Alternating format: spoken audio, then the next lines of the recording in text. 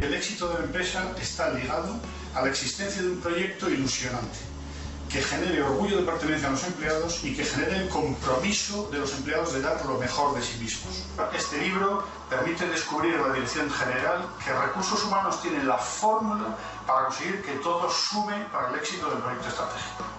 Y lo que esperamos es que después de leer este libro podamos decir que es posible en España, en la situación económica actual, es posible generar compromiso de los empleados. Y la respuesta es, como decía Obama, yes, we can.